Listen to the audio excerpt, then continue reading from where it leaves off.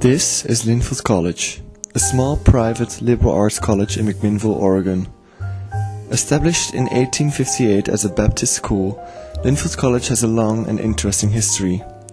This history is provided by primary sources from the school.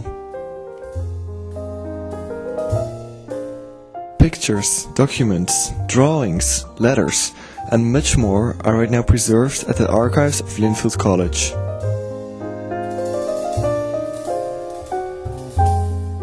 Let's take a look inside these archives and see what kind of collections it houses. What is special about the Linfield archives? I came to the Linfield archives because the what they have developed here is amazing as far as an archives goes. Uh, Linfield College history goes back at least 150 years, uh, so there is exquisite primary, primary materials that date back to the 18th century.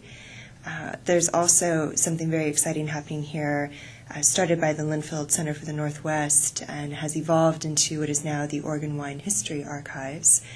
And that is new and unique because it's a college that is taking a very active position in collecting the history of Oregon agriculture and the history of the surrounding community.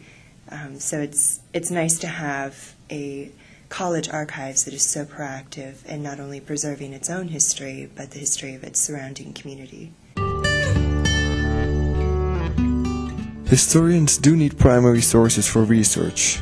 Because of this, the Linfield Archives preserves thousands of documents.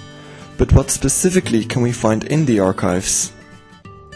The Linfield Archives, it's amazing because the archives itself didn't really come into existence until about 2011, so very recent. Uh, but the collections that they have, as I've said, you know, the Linfield College Archives dates back 150 plus years, so they actually have a lot of these special collections, houses rare books um, from the Baptist ministry, the missions, um, even some of the early books produced for by Linfield. And we have, I think, at least 342 volumes that are in our special collections. Uh, from there, there's also a lot of Linfield College records. Uh, we have pretty much all the papers from the various presidents that have been here at Linfield. Uh, we also have extensive photographs that document the various activities from football uh, to the Greek events, uh, the May Queen, and of course the Good Samaritan School of Nursing collection as well. So it's for not having an archives, Linfield College has done an amazing job of at least keeping those materials that document the Linfield College legacy. Besides its own collections, the Linfield Archives also houses collections from its surrounding community. One of those collections is the Oregon Wine History Archive. What does this collection contain?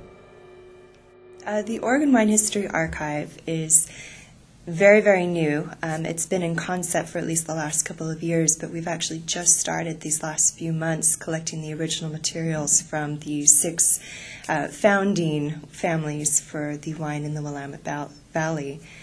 Um, so, what we have so far out of the six, we have the Susan Sokol Blosser Winery Collection, Dick Erath from Erath Vineyards. We also have the Amity collection from Myron Redford. And we also have the International Pinot Noir Celebration Records, um, which they just hit 25 years, I think it was two years ago.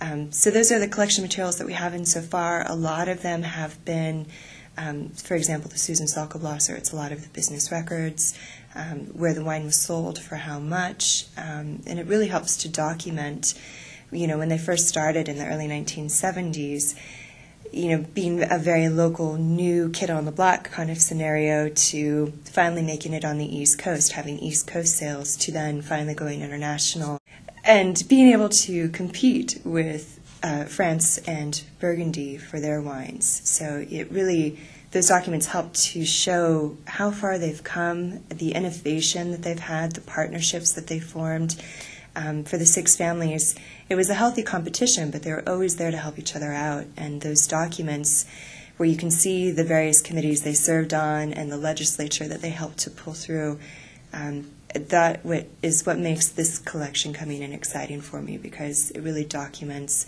not only the wine industry, but you know that pioneering spirit that still exists.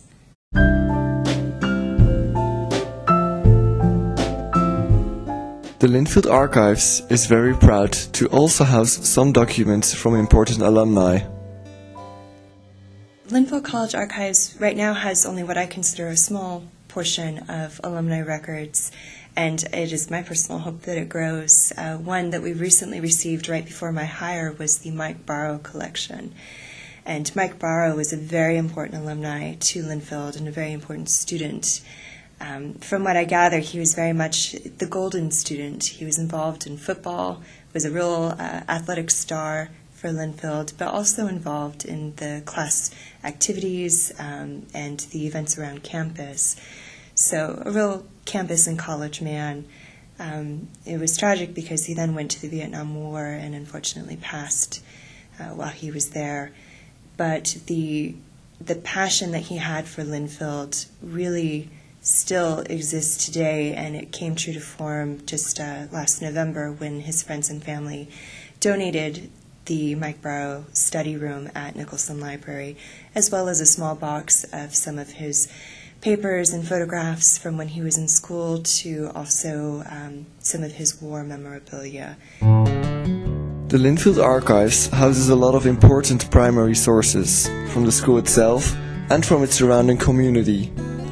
By the digitalization of the database this summer, it becomes easier to access this information. If you want to know more about the Linfield archives or want to look in some of those documents for a research purpose, please look on the library website and click on the link Archives and Special Collections for more information.